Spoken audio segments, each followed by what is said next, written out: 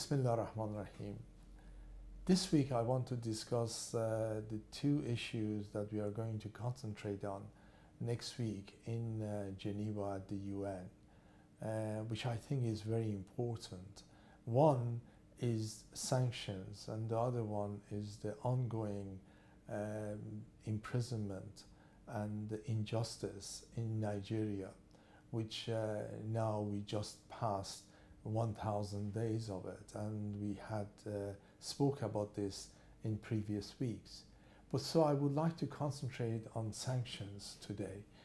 Um, we are very concerned that sanctions have now clearly become a declaration and indeed war is economical war and indeed this economical war under certain conditions and certain uh, level becomes a war crime and I'd like to explain that to you. We have heard that a half a million children have died. I mean that's more children than died when, when in, in Hiroshima. And, and you know, is the price worth it? I think this is a very hard choice, but the price, we think the price is worth it. You remember Iraq, you remember Madeleine Albright, and she responded, yes, for getting rid of Saddam, it was worth it. Well, let me tell you something. That is not worth it. That is actually a war crime to kill half a million children because you want to say that you want to get rid of a, a tyrant. This is outrageous. And we know in reality that sanctions and those sanctions did not result in removing Saddam. In the same time, 50,000 children have died in Yemen over the last year alone.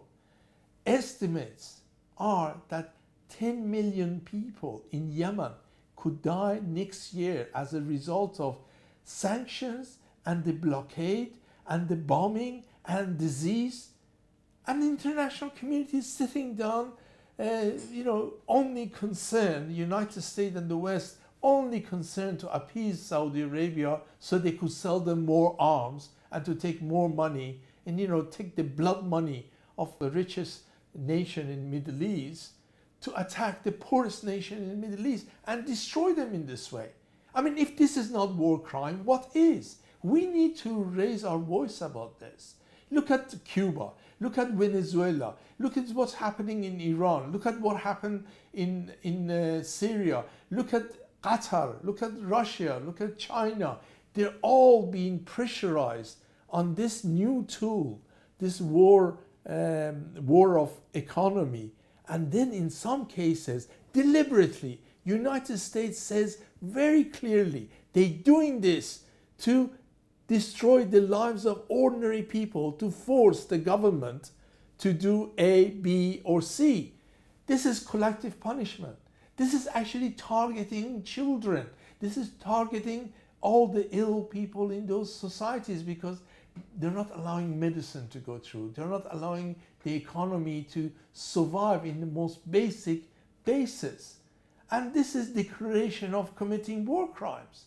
You know, if I go and I say I want to go and kill someone, even if I'm not able to carry it out, I have planned for a crime. The government of United States and Western nations now, under the leadership of Trump, are actually planning to commit crimes, war crimes against innocent people because they want to deprive them of medicine. They want to deprive them of the basic human needs to survive. We are going there to raise this issue.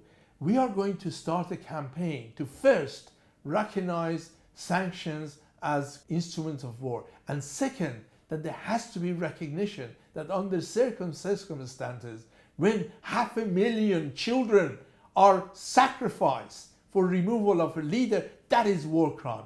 When people in Yemen are being committed into this sort of poverty and disease and destruction, when children are dying as a matter of uh, normal course, then that is war crime. When they are doing the same thing with Iran, Venezuela and elsewhere, Turkey and anywhere else, we need to stand up against that.